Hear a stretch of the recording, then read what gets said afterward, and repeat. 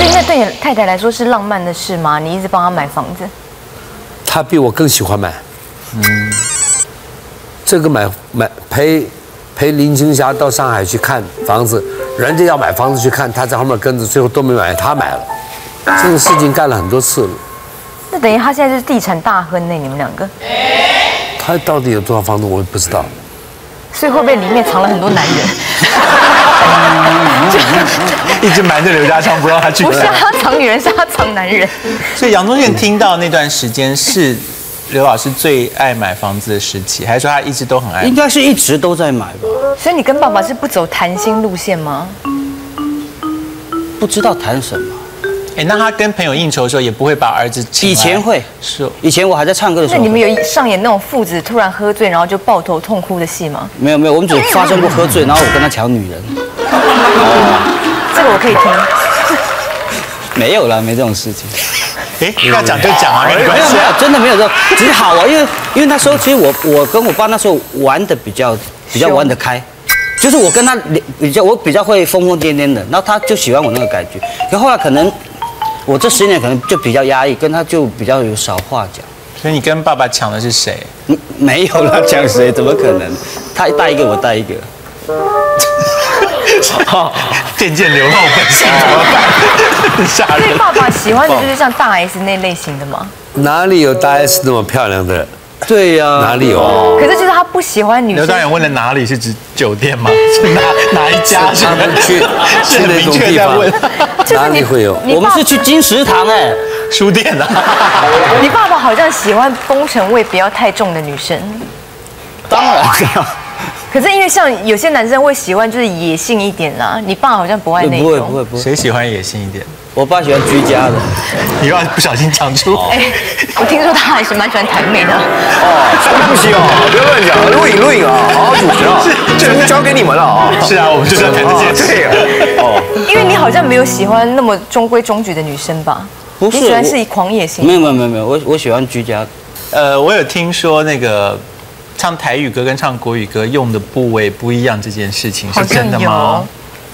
台语歌手有这个说法吗？会因为因为台语歌手，第一他咬字要很明显，所以这个地方用力会比较，就是你一个字切就切分音会比较明显。可以举一个例子吗？谁人了解我？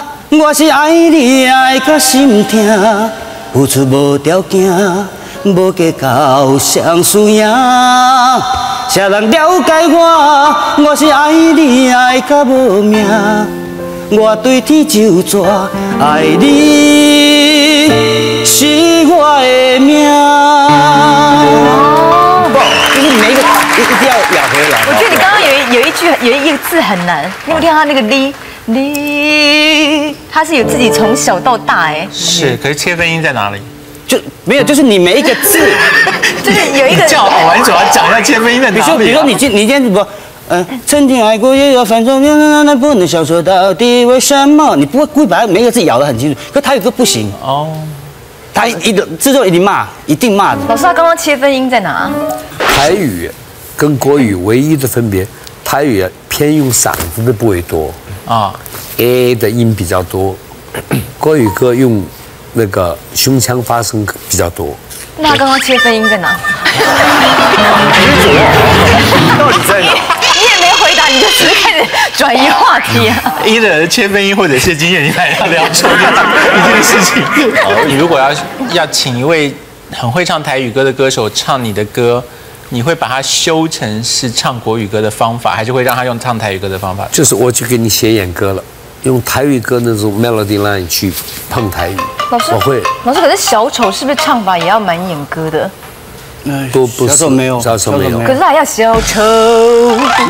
你可以不要这样唱，对，那已经只有你，可以不要这样唱歌坛只有你这样。可是他丑拉那么长，你不这样呃，你要把它放到哪里？刘家庄唱小丑也是这样，有些会我也不会拉，你后面会抖啊。不会，你有老师？有一点点不会那么，没有像他那么夸张。那老师，我可以你，我可以听你一句小丑。我要唱小丑，你现在是故意弄短。一点点，对，他后面啊，对。哦，哦哦 不会小丑哦哦哦不会拉，不会像珍妮那样拉那么长。那你会每一次唱都不一样吗？几乎都不一样。你演过电影吧？临时演员之类的，少一个人就在后面嘎上去这样子。是连台词都没有，是不是？有的时候有台词，有两个角色就晃晃一点点，就是因为像我演部第一部电影，是因为那个港星拿不到 visa 进不来，嗯，我们这外景队在垦丁等，那个投资的老板坐着夕阳，坐着沙滩掉眼泪，四五天没有拍。最后唐宝云就说：“你就自己演了吧，你看看那哭的。”我说：“啊，这没办法，我自己演了，就演了一部戏叫什么？叫《晚秋》，演演了六十天，上演六十天，哇天天排队。所以表示你很适合当男主角。不是，因为我家在哪里那些歌，雾那些歌都在那个电影里面。那电影那个电影里面红了很多条歌我。家在哪里？你总会吧？啊？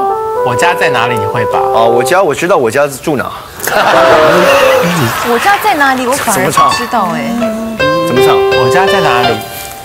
南风又轻轻吹起，吹动着青草地。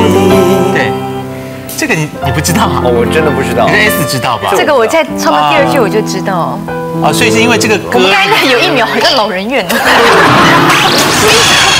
刘家昌隐退告别作，犀利康永超有面子。我今天来，我希望你们二位能帮我做最后一次我的通告，将来我不会再到电视台了。今天是最后一次节。目是最后一个我为什么要请小 S 去我的？我想一个告别音乐会啊，都是有一点点伤感。我我一直想。